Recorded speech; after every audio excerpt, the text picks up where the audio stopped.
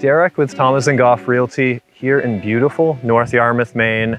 We're here at Perennial Crossing at the last lot that's available in this subdivision. The well's already drilled, power has already been run to the property, the driveway is almost complete. All it's waiting for is your design and your dream home.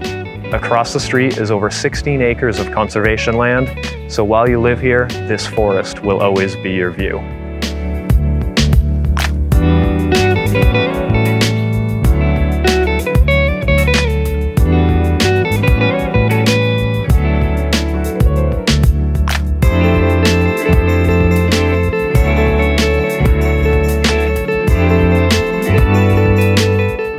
And the best part, we're just a mile away from Sunflower Farm and my new friend I've made here. You can come and uh, snuggle some goats or do some goat yoga here.